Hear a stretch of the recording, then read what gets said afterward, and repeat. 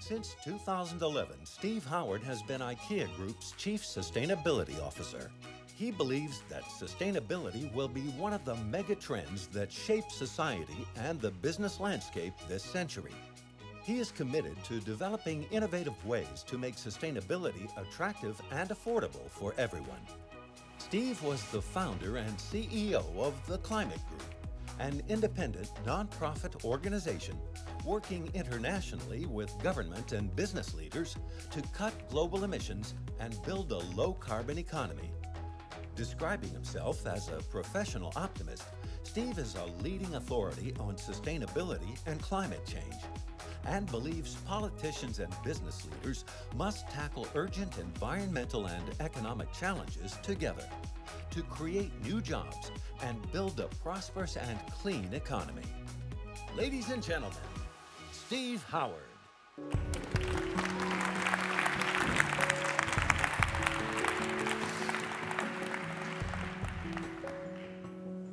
It's quite disturbing to see your face that big, actually. Um, it's uh, an honor to be here this afternoon and uh, an honor to chair the jury, really, uh, and a responsibility as well. Uh, you have to put up with me for a few minutes before you find out the stuff you really want to know, which is uh, who's won today. Uh, I'm just going to share some personal reflections.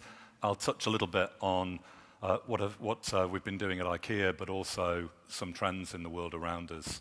Um, First, I'd just like to actually go back. When uh, Jim and I uh, started the climate group uh, 11, 12, 12 years back, um, we were looking for funders that would take a leap of faith. Uh, being a social entrepreneur or a business entrepreneur is very, very similar. And actually, DOEN Foundation uh, was uh, one of the very first funders to support us, as a long-term funder of the, the climate group. So it's actually special for me to be here because without DOEN Foundation and one or two others, the climate group wouldn't have succeeded. So thank you very much for that. Um,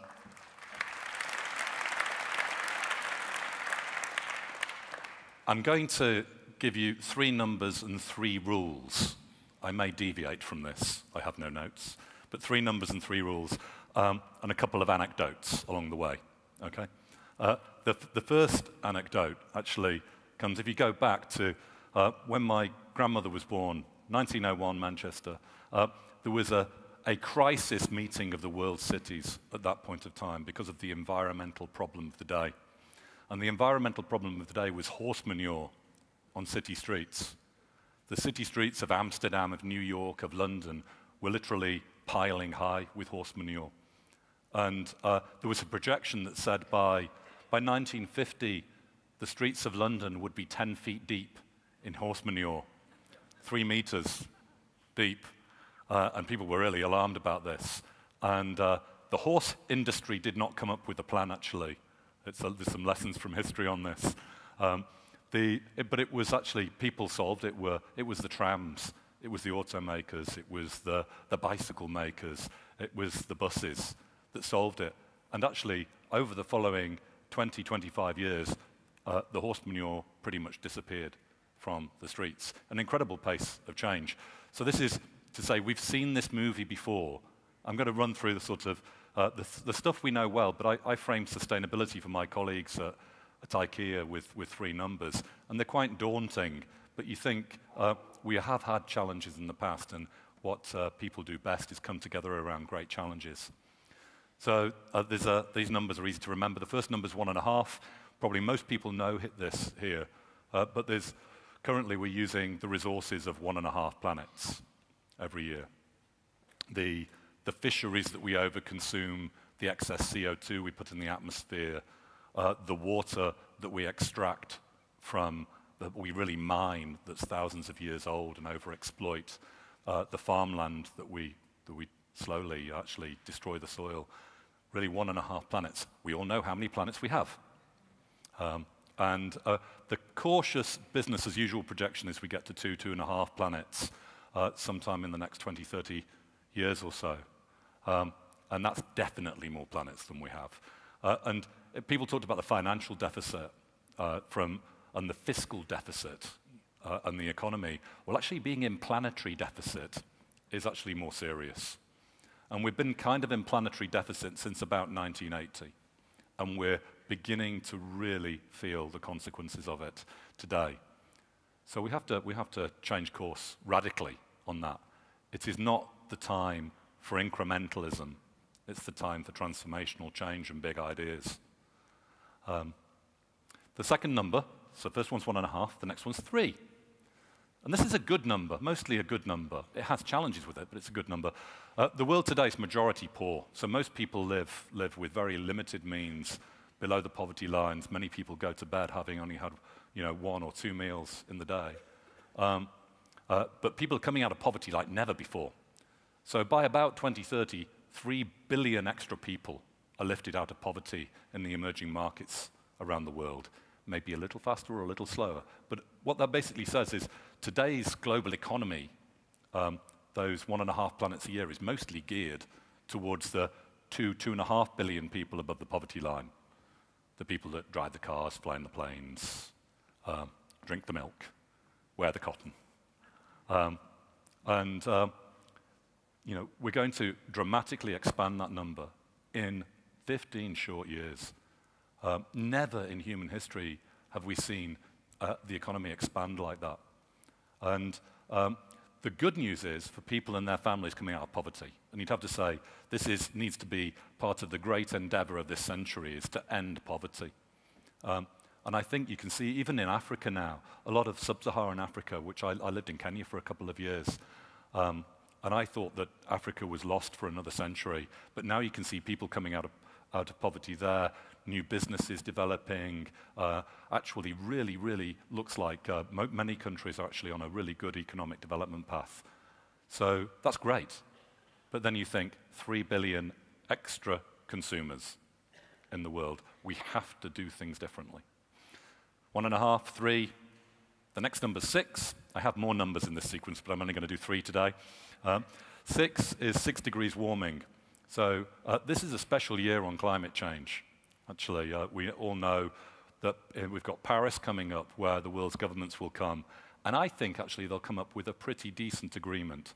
It won't be everything we need, but it will be enough to actually drive um, further progress. We'll really see a, a wave of innovation in this low carbon world as we start to get stronger and stronger government policy. Let's keep our fingers crossed on that and do what we can to push that over the line.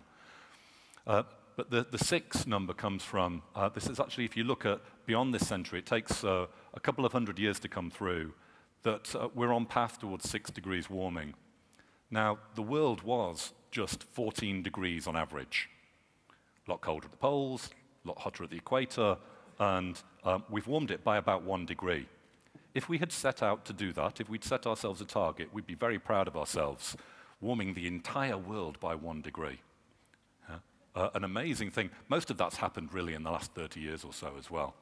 We now put a billion tons of CO2 into the atmosphere every week. And we know the carbon budget that we have. You can basically do the graph. A, a quarter of that carbon lasts 500 years.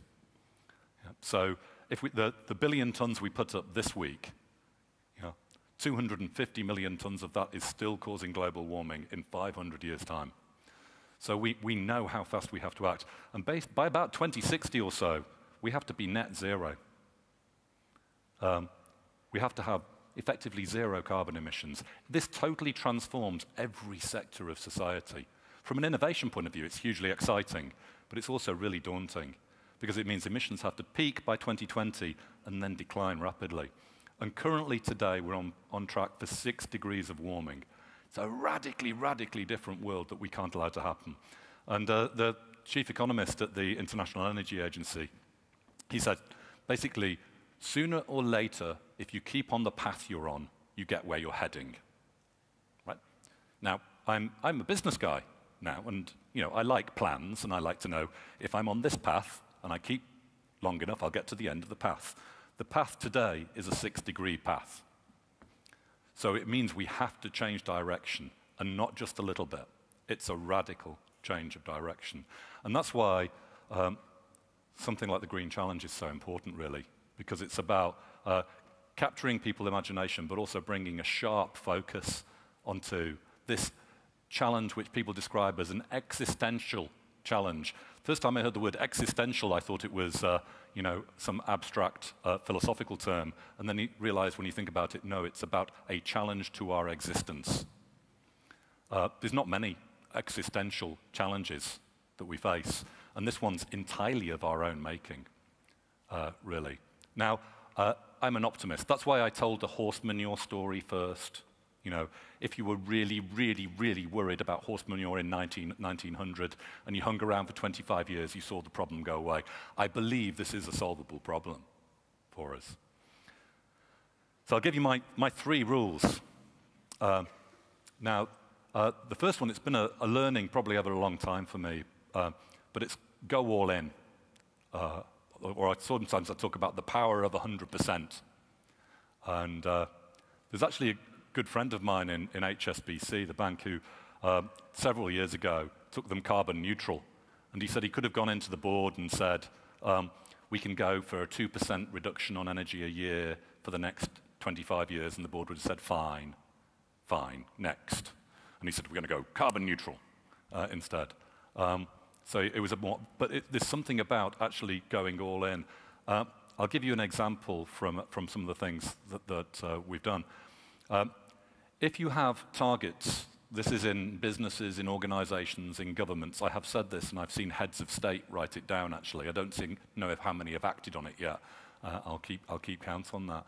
Um, but uh, if you say have a target for 90%, whatever it is, lots of people find a reason to be in the 10%. If you set a target for 50%, you are 50% confused. We are going to totally change things by 50%. That means you're going to totally keep the th things the same for the other 50%. Uh, you, it creates confusion. If you can go for 100%, it creates tremendous clarity. And that's why you can see with the entrepreneurs that we have today, um, uh, actually, they're, they're going all in with the ideas they have to, to disrupt industries. Um, we did this about four years ago in IKEA. Uh, we sell a lot of lights, a lot of lights in IKEA. And uh, I think that a part of the inspiration came from this, from again, from, came from something that uh, the lottery did here with, with LED bulbs, giving two million bulbs away um, six, seven years ago, I think it was. And uh, I had our lighting council, we had a, a, a meeting with the lighting council, and I just said, thinking I might be fired for it actually, I said, why don't we just ban the halogens and ban the CFLs? How fast can we do that? And then the team came back about two months later and they said, this is the pre-study we can ban them by the 1st of September 2015. We can be only sell LED bulbs in our stores then. We think we can get to the right price point uh, at that point in time and totally take away all of the others. And uh, uh, then we took a couple of steps. We made the decision to do that. But then we got the whole business purpose behind that. So straight away, we, we didn't make an investment uh, that we would have made in slightly better compact fluorescent bulbs we put all of the money behind the LEDs. We totally went back up the supply chain and figured out how could you improve quality and improve the price of everything. We agreed to have margins, the, the, the profit, incredibly low at every point in the business. Uh, so you could get to the right price faster. We said, let's, let's actually just put some big orders back up the supply chain to get to scale. And about 18 months ago, we saw the market start to respond. People got the, the value proposition uh, on, on these bulbs. They are the next best thing to daylight uh, LEDs. Um, really, you've got something that will last 25 years or so. Um, if we put them end to end in their use, we, we, we, sold about a billion years of light this last year and, uh, uh, with the LEDs. Now, it's one company, it's one thing that you can do, but that's four years to go from being a business sell selling halogens and CFLs to a business only selling LEDs in stores around the world. The other thing we picked on was to go 100% for renewable energy. And uh, we thought renewable energy is better. And it, it's interesting, people talked about it as alternative energy. Uh, if you were a visitor from space, I don't know if we've got anyone from space here today, or thinks that may think they are, but uh, uh, you can talk to me afterwards. Uh, but people, if you were a visitor from space, you came down and you saw actually people going to drill in the Arctic to take fossilized dinosaur food out from under the Earth's crust and to burn it, causing uh, planetary changing pollution uh, with huge financial risk and devastating environmental, social, and economic consequences. And that's mainstream energy. And then you saw a wind farm spinning or a solar panel generating dependable clean energy, uh, where once it's installed, your cost of energy production is free, yeah? then which would look like mainstream energy? Where would you say the risk was? Where's the common sense? Where's the smart money? So we said we'll put our money behind uh, renewable energy and common sense energy. We'll put it behind. So now we've got uh, 23 wind farms spinning in nine countries, and soon we'll have installed our one millionth solar panel. I was telling uh, uh, the ambassador from the US just earlier uh, that in, in the US, actually, uh, we've got the largest rooftop solar installations in 10 US states on IKEA stores and distribution centers. Um, and uh, when our CFO, our new chief financial officer, turned up three years ago, after about a week, he just said, um, I thought you owned the, uh, the wind farms. And I said, no, you own them, Alistair. You own them. And he was like, oh, I, I own these wind farms. And obviously on, on behalf of the company. But, uh, and then uh, uh, we looked into it, and these give a really good return. This is a good financial investment, but it's also fantastic for the business. We completely eliminate our, uh, the greenhouse gas emissions directly associated with our own factories, our distribution centers, and our stores. And we set a target for 70% this year. Don't worry, it is 100% for 2020. And we'll be, we'll be over that 70% for this year. Uh, and we're right on track to get ahead of schedule to our 100% target. Um, so there's something about the power of going all in. Anybody setting targets anywhere, set yourself the boldest one. The first time I said this publicly, I, I then went back to my team and said, we've got some targets that aren't 100%. Let's really look at those. And I think we've pretty much eliminated all of them now. Um, so the, the, the go all in. The next target is make things better. And I, I think you know, you've got people today trying to bring better solutions uh, forwards. And I, I, don't, I think I was uh, been involved in the environment movement a long time, and early on, the environment movement was kind of about creating guilt. You know, it was, um, you know, be guilty for the fashion, be guilty for the milk, be guilty for your water bottle, uh, be guilty for going on holiday. You really, really want to go on holiday. Uh, you'd love to get on a plane, be really guilty about it. Be guilty if you drive your car. And um, the, uh, it's, we have always aspired to better. It's about making better, smarter choices. So it is about choosing renewable energy versus uh, polluting energy. It is about choosing uh, LED lights that will last 20, 25 years with a tiny amount of energy use rather than old-fashioned heaters come light bulbs. It's about choosing, choosing electric vehicles uh, rather than the conventional vehicles and these choices are increasingly available for us now. So I think we have to be inspired by the future. We're going to facilitate people around the world to have better choices. And simple things that are coming, if you look at, we're in the sort of distribution phase of the internet now, the sort of emerging shared economy. Airbnb and Uber and technologies like this, of course, they create some, some uh, pain as they disrupt uh, sectors. But generally, actually, they make it very easy and convenient and actually also start to dematerialize things. They've converted unused bedrooms into hotel beds uh, or sometimes underutilized uh, cars into uh, highly utilized taxis. So better choices going forwards and uh, let's be inspired as we look towards this century of saying, actually, stuff's just going to get cooler as we go forwards. Um, my, my last rule is uh, about not waiting for permission and don't wait to be asked. Really don't wait to be asked. And uh, I'm thinking, especially, I know there's a lot of, uh, a lot of people a year or two younger than me in the audience. Um, and uh, when I was a student, I, went I was a volunteer for some time in Mauritius. And uh, there's an inspiring guy called Carl Jones who'd gone out there. He'd actually was sent out there. It was a conservation project. He was sent down to close it down. And there's these fantastic birds on Mauritius called the Mauritian kestrel.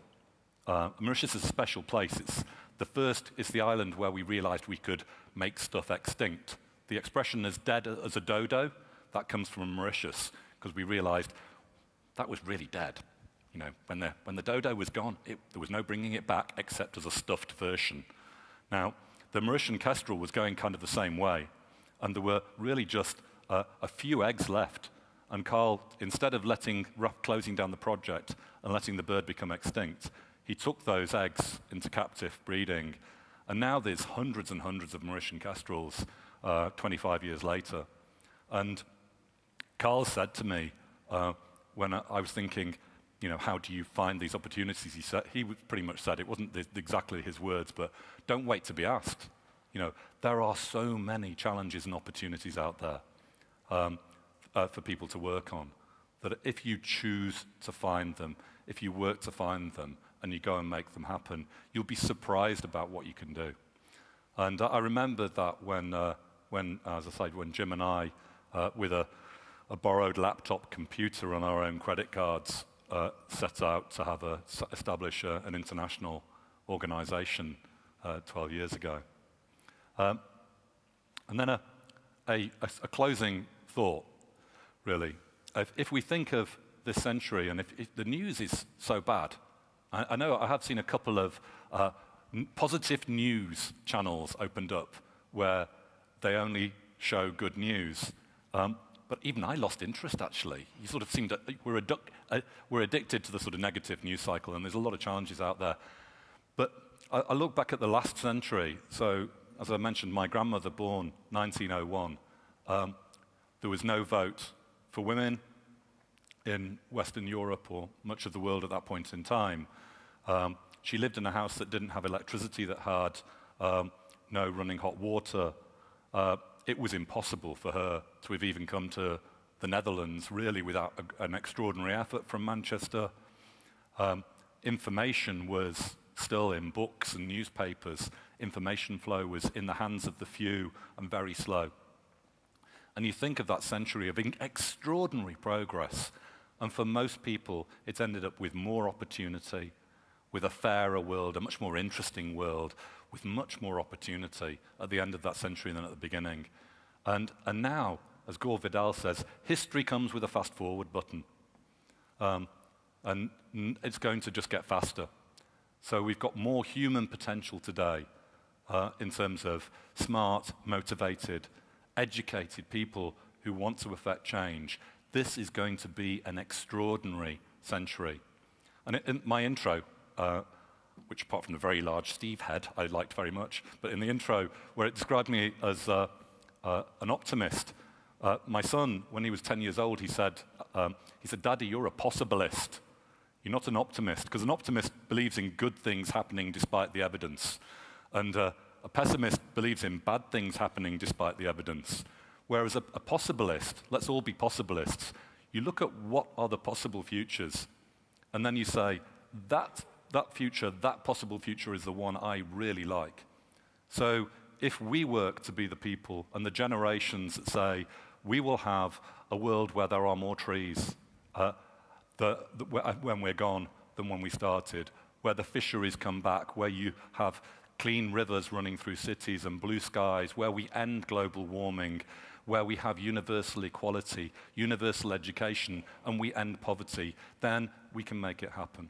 And I think this is a, a great event to inspire that sort of change. So thank you very much. Thank you.